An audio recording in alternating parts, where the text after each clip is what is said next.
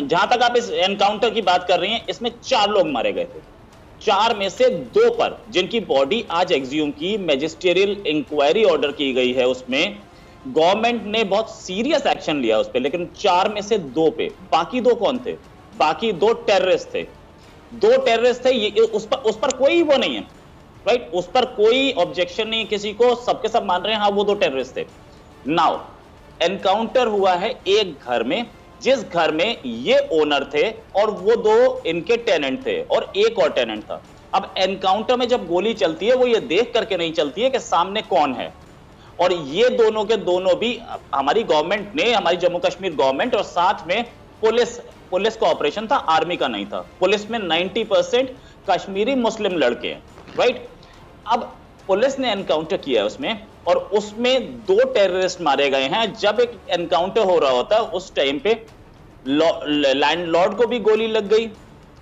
बुरा if he was not involve अगर वो नहीं इन्वॉल्व थे किसी भी तरह के टेररिज्म में तो बहुत गलत हुआ है। और उस पर बिल्कुल इंसाफ होना चाहिए। लेकिन एनकाउंटर स्टेट में या जब गोलियाँ चलती हैं ऐसा तो हमने देखा ना आपके टीएलपी का प्रोटेस्ट हुआ तो, तो मशीन गन से आपके पुलिस वालों को मार दिया गया। ऐसा उस समय देख पाता है कोई? या गोली जब चलती है तो वो ये देखती है कि ये इनोसेंट है या नहीं?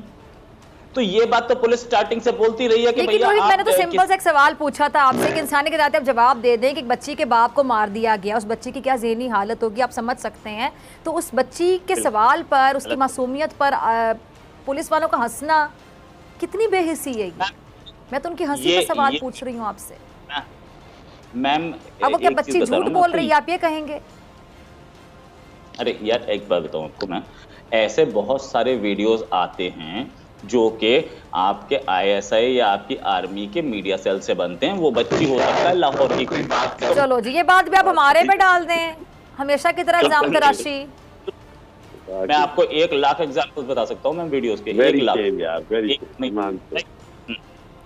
लेकिन अच्छा अली रजा साहब ठीक है मैं दोबारा आती हूँ आपकी ठीक है। रोहित आपकी तरफ़ मैं आना चाहूँगी। मेरे ख्याल से मुझे सवाल पूछने की ज़रूरत नहीं है। आप यकीनी तौर पे जवाब देना चाहेंगे हामिद साहब की बातों का अली साहब की बातों दोनों की बातों का दूँगा।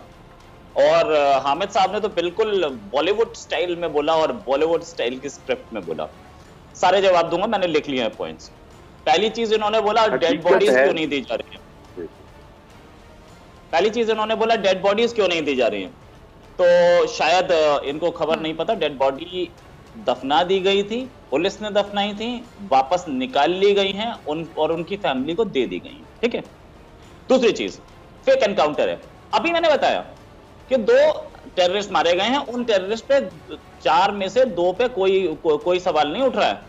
वो दो टेररिस्ट थे और टेररिस्ट के साथ जो लोग थे वो क्योंकि उसके घर में रह रहा था। अब वो टेनेंट बता रहे हैं क्या असलियत थी वो तो इंक्वायरी के बाद पता लगेगा। लेकिन अगर मेरे घर में कोई टेररिस्ट रह रहा है और पुलिस एनकाउंटर करती है तो पुलिस जब गोली चलाएगी तो वो गोली नहीं देखती कि कहाँ जा रही है। सीधी सी बात है, क्योंकि टेररिस्ट की तरफ़ से भी गोली चल रही थी। ऐसे में आप नहीं बता सकते और कोई नहीं बता सकता। या ऐसा ऐसा अगर पाकिस्तानी गोली हो, जो कि सिर्फ़ ये देखती हो कि टेररिस्ट को लगेगी और इनोसेंट को नहीं लगेगी तो वो गोली हमें दे देना, हम यूज़ कर लेंगे। सत्रह साल से जेल में था एक बंदा जो कि मार दिया गया। सत्रह साल से जेल में क्या कर रहा था भैया? जेलर था। या जेल में क्या नमाज़ पढ़ रहा था बैठ के? टेररिस्ट था और वो उसने खुद बोला था मुझे sir when you were speaking I was quite right तो उसने खुद बोला था कि मुझे एनकाउंटर वाली साइड पे लेके जाओ। वो एनकाउंटर करीब सत्रह अट्ठारह दिन चला था जंगलों में था। उसने खुद बोला था कि मुझे एनकाउंटर वाली साइट लेके जाओ मैं वहाँ पर जाकर के टेररिस्ट मेरे साथी है मैं उनको जाकर के रोक लूँगा। जब वो टेररिस्ट को समझाने जा रहा था टेररिस्ट ने उसे गोली मारी थी। आप अखबार पढ़िए। ठीक है गलत नहीं है अखबार पढ़िए। मैं उस बंदे का सब सारी डिटेल लेके बैठा हूँ पहले से। इसके बाद पैलेट गन्स यूज़ होती हैं बच्चों की आँखें छीन ली। बच्चे करते क्या है उसमें? पैलेट गन आर्मी घर के अंदर या पुलिस घर के अंदर जाके बच्चों को नहीं मार रही है? वहाँ पे वो पत्थरबाजी हो रही है वहाँ मारती है। बच्चे करते क्या है वहाँ पे? क्यों जाते हैं बच्चे? ये बच्चों का करना? इंडिया वाले केस का बताया उसमें उसमें क्या वो क्या कर रही थी? वो क्या क्या वो आ, सड़क पे थी? वो प्रोटेस्ट कर रही थी? वो तो अपने घर पे ऊपर खिड़की में खड़ी थी। सर एक मिनट पहले मुझे सारे जवाब देने दीजिए ना।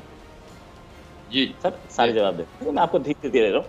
जब पैलेट गन्स की बात आपने की तो पैलेट गन्स की बात मैं बताऊँ बच्चे आप लोगों के तो रोहित मेरी बात सुने वो बच्चे पत्थर आपको पत्थरबाज कहते हैं हम उनको फ्रीडम फाइटर्स कहते हैं जब वो पत्थर लेके बैठे हुए तो इसका मतलब वो आपको पत्थर मार के चले जाए? यहाँ यहाँ से आप लोग ज़बरदस्ती काबिज है वहाँ पे आपकी भारतीय फौज ज़बरदस्ती वहाँ पे खड़ी हुई है।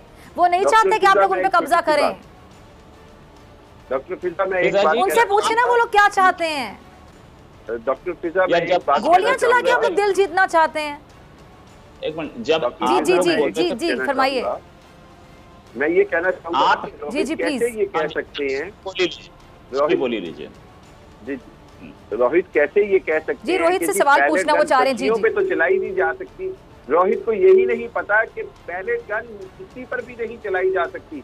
इसका मतलब ये है कि जो वो भारतीय जो ये कह रहे हैं ये तो खुद एतराफ जुर्म कर रहे हैं जो सारी दुनिया जानती है। पैलेट गन चलाना ही दुनिया में गैर कानूनी करार दे दिया गया है। चाहे वो नौजवान हो मर्द हो औरत हो आप बच्चों की बात ना करें कि बच्चे क्या करते जाते हैं। आप इस वक्त से डरे कि अब बच्चे तक नौजवान तक आज़ादी के अलावा किसी चीज़ पर कंप्रोमाइज नहीं बोल करना चुके चाहते। ये बात आप बोल चुके बोल चुके अब आप बात कर लेते हैं।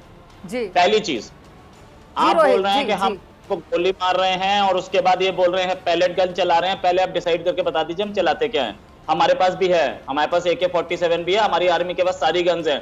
पैलेट गन क्यों चल रही थी? क्योंकि कोई मरे ना। दूसरी चीज़, आप पिजा जी और आपके ये दोनों के दोनों जो गेस्ट बैठे हैं राइट दोनों के दोनों बच्चा जो पत्थरबाजी कर रहा है, उसको बहुत सपोर्ट कर रहे हैं। आपके घर के कितने बच्चे पत्थरबाजी करते हैं? या इनके घर के कितने बच्चे? सब अपने बच्चों को इंजीनियरिंग कॉलेज में और उधर एमबीबीएस करा रहे होंगे, या उनको पाकिस्तान की सर्विसेज़ में भेज रहे होंगे। कोई पत्थरबाजी नहीं कर रहे। बच्चा पढ़ क्यों नहीं रहा? वो पत्थरबाजी क्यों कर रहा है? और आप उसे सपोर्ट कर रहे हैं? ये कौन सा तरीका है? आप कश्मीरी बच्चों को पत्थर बनाना चाहते हैं? बोलते पढ़े वो? और कैसे लाखों की हैं? तादाद में आपने अपनी भारतीय सेना भारतीय फौज वहाँ पे मुसल्लत की हुई और बच्चे आगे से पत्थर भी ना उठाए अपने तहफुज के लिए। रोहित आप क्या बात कर रहे हैं? कश्मीरी जवानों ने चूड़ियाँ पहन रखी हैं। कश्मीरी जवान क्यों नहीं आता? पर बच्चे क्यों पत्थर मारने आते हैं? आप पूछिए क्योंकि कश्मीरी जवान इंडियन पुलिस और इंडियन आर्मी ज्वाइन करके बैठा है। उनको उनको नहीं मिलती है। वो बच्चों से पत्थरबाजी करा रहे हैं। कश्मीरी कश्मीरी जवान हमारे साथ यहाँ बिज़नेस कर रहा है। यहाँ पे सेब लेके आता है। कश्मीर अली रजा साहब। बच्चे इसलिए आ रहे सामने। आप